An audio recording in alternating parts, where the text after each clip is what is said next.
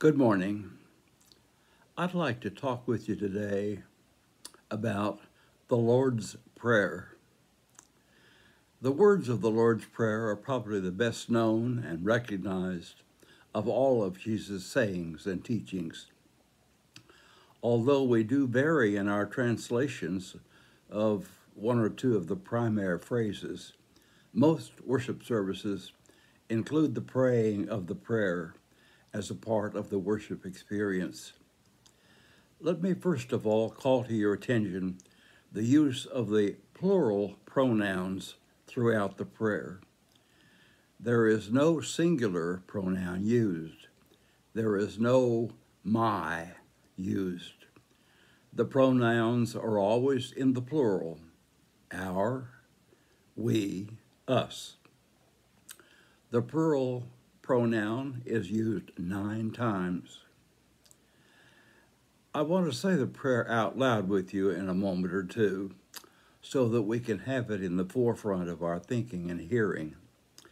I invite you to say it with me as we say it aloud. However, before we do our saying, let me call your special attention to the word that I used just now, the word saying, saying the prayer. I kind of dislike the word saying because what we are really doing, I hope, is praying. And that's different than just saying. The prayer is not to be said or repeated or just spoken out loud. This is a prayer addressed to God and focused on Him. We are not praying to one another. We may be aware that others are also praying with us, but we are not praying to ourselves, to each other, to one another, to the group, or the congregation. Our prayers are directed to God and only to God. I'm reminded of a certain pastor and a story about him who he was ready to give the benediction at the close of the worship service when all of a sudden he remembered that he had forgotten to make an announcement about the fellowship dinner on Wednesday evening. So, in his benediction, he included these words Lord, help us to remember the fellowship dinner on Wednesday night at 6 o'clock, where everyone is invited and welcome. At that point, of course, he changed the direction of his prayer from God to the people. We preachers have been known to change the direction of our prayers to our dismay when we realize, uh, realize that's true. But back to the Lord's Prayer. There's one phrase we need to decide on which, we, which one we'll use. Forgive us our debts, forgive us our trespasses, or forgive us our sins. In different versions of the Bible or different translations, we will find all three phrases used.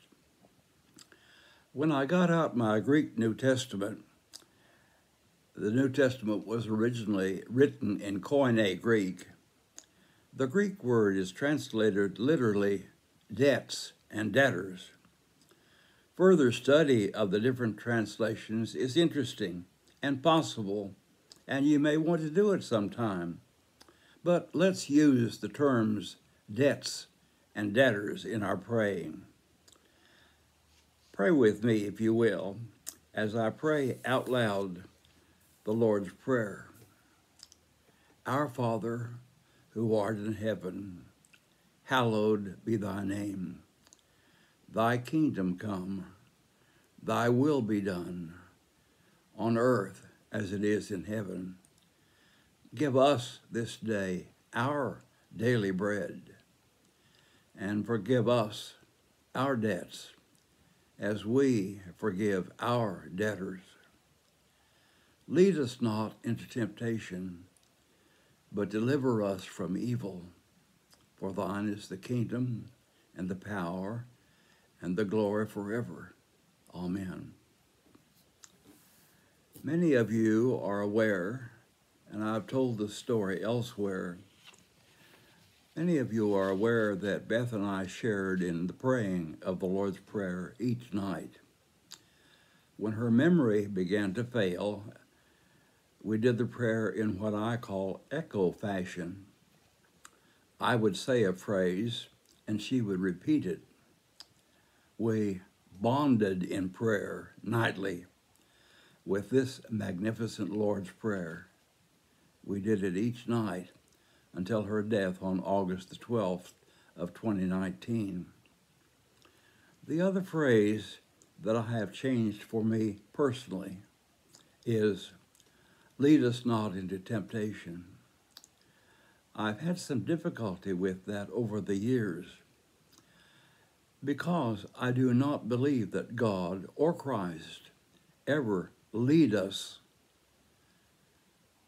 purposefully into temptation.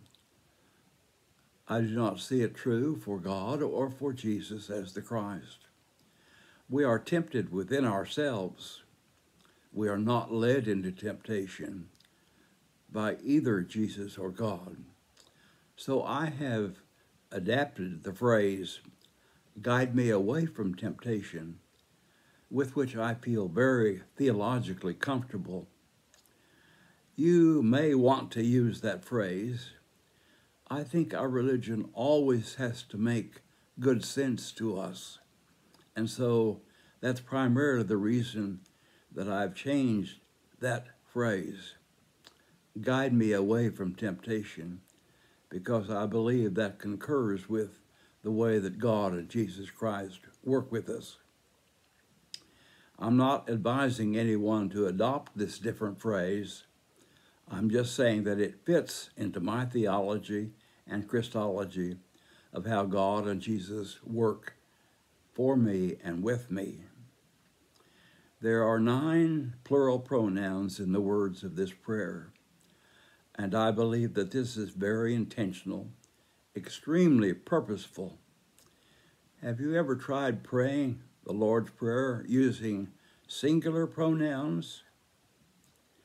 You might try that sometime, like it would start out, My Father who art in heaven Give me this day my daily bread. Forgive me my debts. No, it changes the whole thing, doesn't it?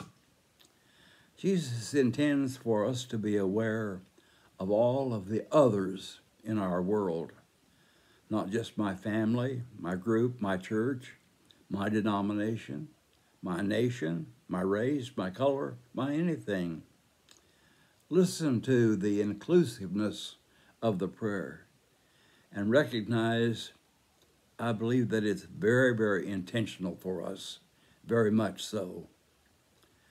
May your praying of Jesus' prayer for his disciples bring you closer to God, the Father, his Son, Jesus Christ, and to one another.